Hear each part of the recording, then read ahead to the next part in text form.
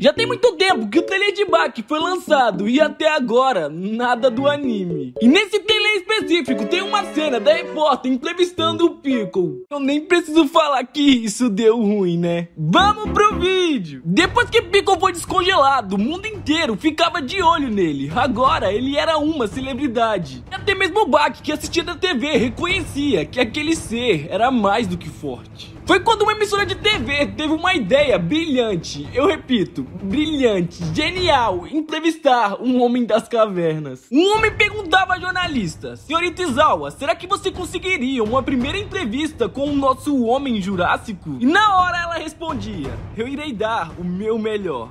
E então, aquela repórter se aproximava de Pico, direcionava o microfone a ele e perguntava, olá, como está? Do nada, Pico agarrava ela, deitava em cima dela e logo em seguida fazia isso. E na força bruta, ele arrancava o seu próprio cinto. Todos os soldados iam pra cima dele para impedir aquele ato. Com tudo aquilo acontecendo, aquela jornalista pensava: deve ser triste ser tão selvagem. E Pico se levantava, mas suas calças caíam e ficava nítido. O amiguinho do Pico tava bem animado. Quer dizer, amigão. Todo mundo no Japão estava assistindo aquilo ao vivo. Todo mundo ficava apreensivo e se perguntava o que iria acontecer. Quando do nada o Pico... É, Pico foi Mimi.